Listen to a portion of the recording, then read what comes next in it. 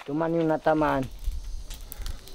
Natamaan yan yung first time kami nandito, hindi kami nakalit. Natamaan ito. Pero yung isa doon, nandyan yung pamilya ko. Sa loob, lahat yung anak ko, pinagtago sila sa kwarto. Yun, ang ginawa namin.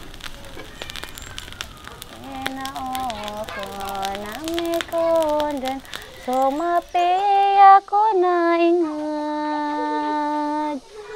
nami manto ko de na kinan kundang ka kilala angka ini ya pembetowa nami kon den asik tei una kon den ka kasoi ko. Angka ini ya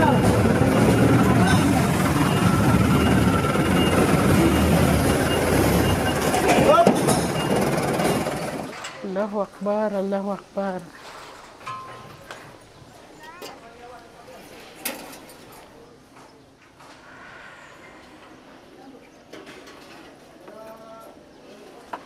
Talagang zero na ang Maranao. Wala na.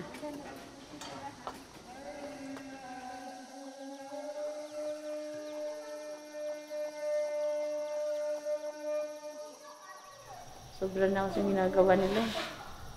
Anong babalikan nila dito sa Marawi, di ba na? Eh, sana naman sila.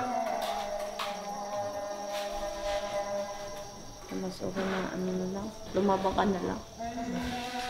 Wala ka naman magagawa. eh. Tatakas ka pa. Ganun pa rin.